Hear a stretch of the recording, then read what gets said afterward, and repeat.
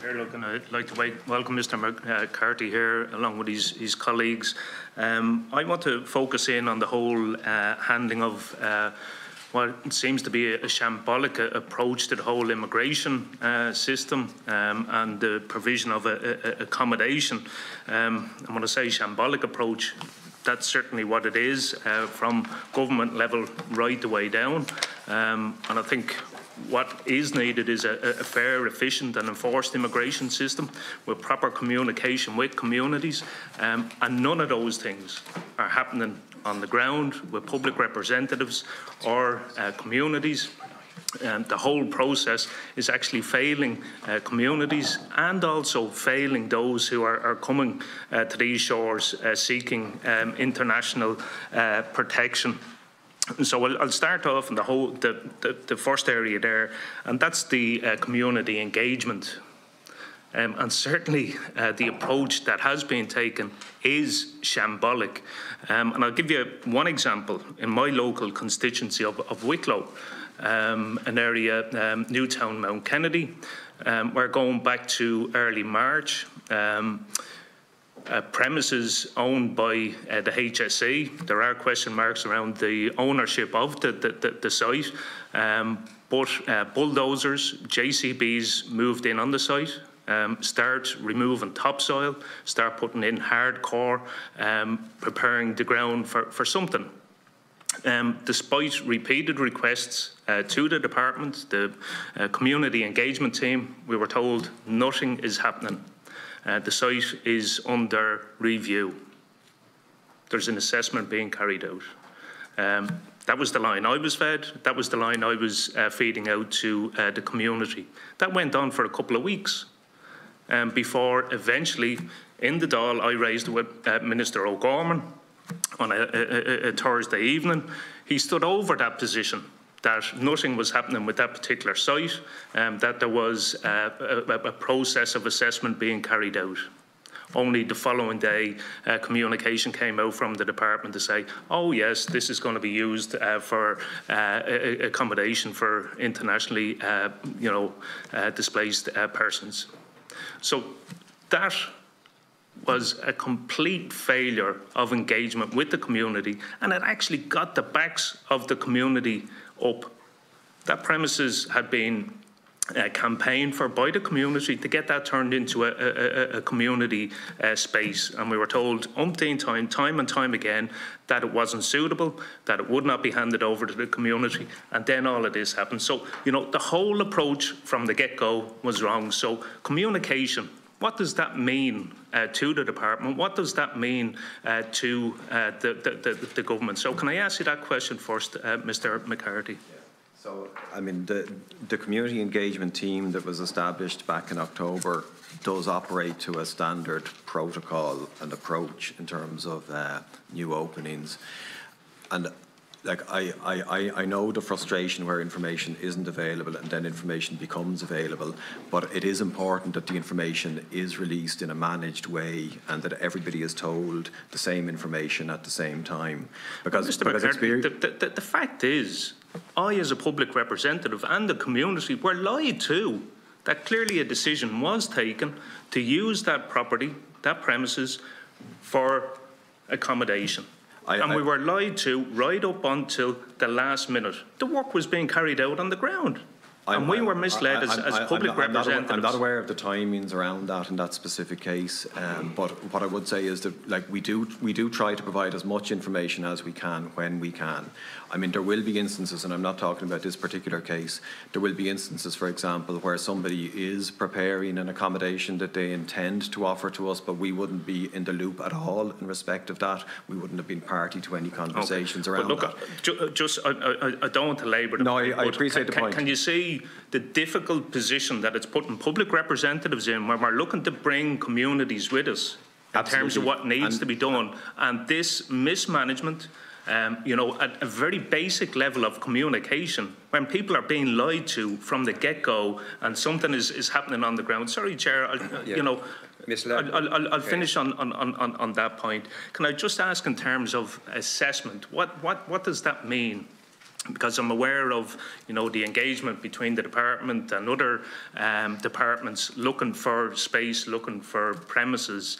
Um, so what, what assessment did actually take place in, in that situation or, or any other location where accommodation is, is uh, being sought to be provided. Because, I mean, as far as I can see, it goes right back to the failure to have a coherent plan in place that the approach being taken by the department seems to be led uh, by speculators making millions from the process. So what, what community audits actually take place in an area uh, such as Newtown or anywhere else uh, before a decision is taken to put in a, a accommodation centres. Yeah, and just, uh, I mean, just to pick up on the on, on public representatives being misled or whatever form of language you wish to choose around that. I mean, uh, just to make the point, we do really appreciate the support of local public representatives on the ground when it comes to challenging openings of this nature and we are keen that public representatives are told the same information at the same time, which is the approach that the community engagement team seeks to take.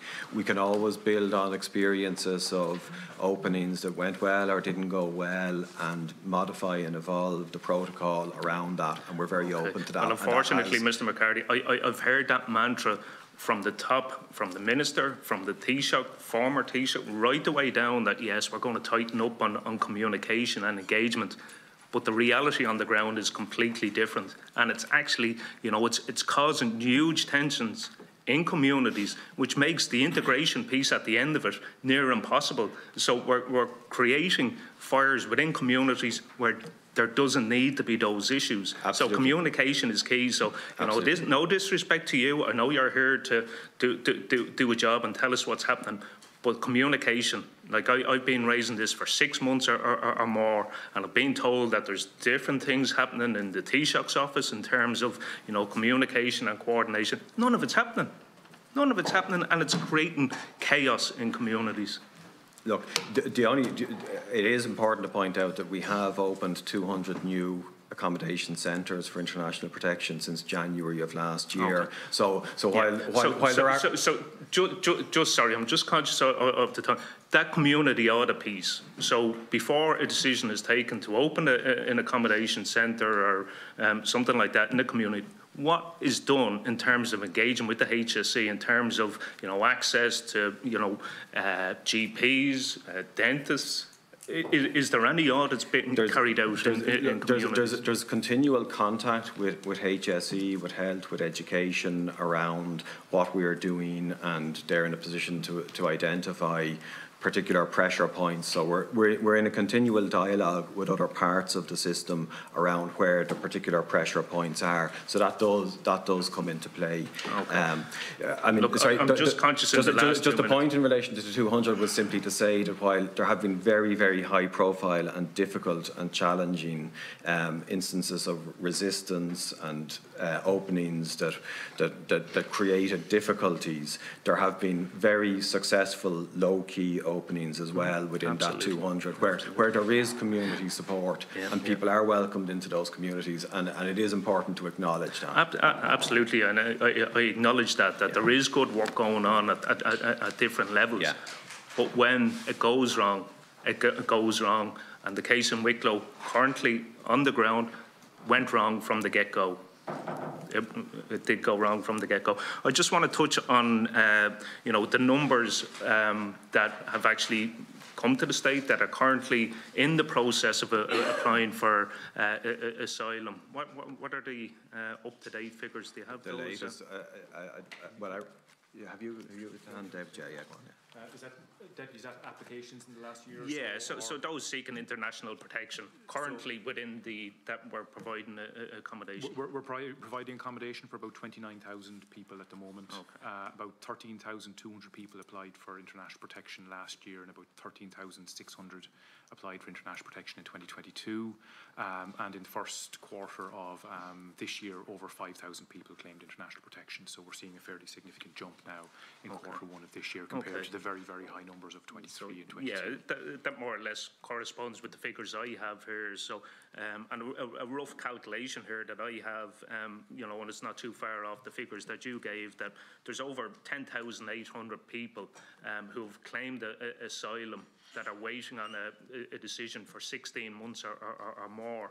What would the average time, um, you know, before a, a decision is, is taken in your experience?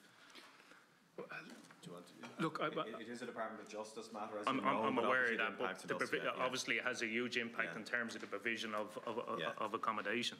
It, it absolutely does, and uh, most recent figures I've sort of heard about or read from maybe a couple of months ago, I think the average processing time was at about 13 or 14 months, but I think you need to clarify that with Department of Justice. Okay. Uh, and that includes accelerated processing times in first instance of about um, two months or so.